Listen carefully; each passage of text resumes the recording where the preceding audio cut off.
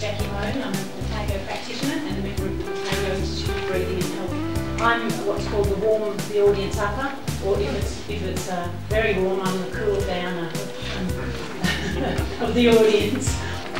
Good morning, everybody, and thank you very much, uh, Jackie, for the introduction. I'd just like to officially welcome you all to the conference and also to officially open the conference. Uh, as you know, this is our second international Buteyko Asthma Conference and the title of the conference is Breathing New Life into Asthma Management. This follows on from the first international conference, which was held in Hastings, New Zealand, uh, back in December of the year 2000. Patients with asthma, and they also found that they were all over breathing. And Dr. Paul Clark, who was seen as Australia's foremost hyperventilation expert.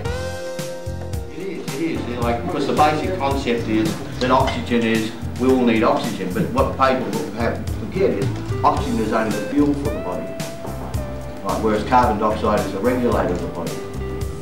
Buteyko discovered that the majority of us are not breathing like we should do.